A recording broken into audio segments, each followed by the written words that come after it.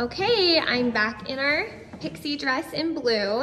Okay, if you guys thought the fairy tale was maybe just a little bit too much for you, this is probably the winner because this one is a little bit shorter, so it's not as full length, but you still get that really fun, dressed up, poofy, the, all the vibes. Oh my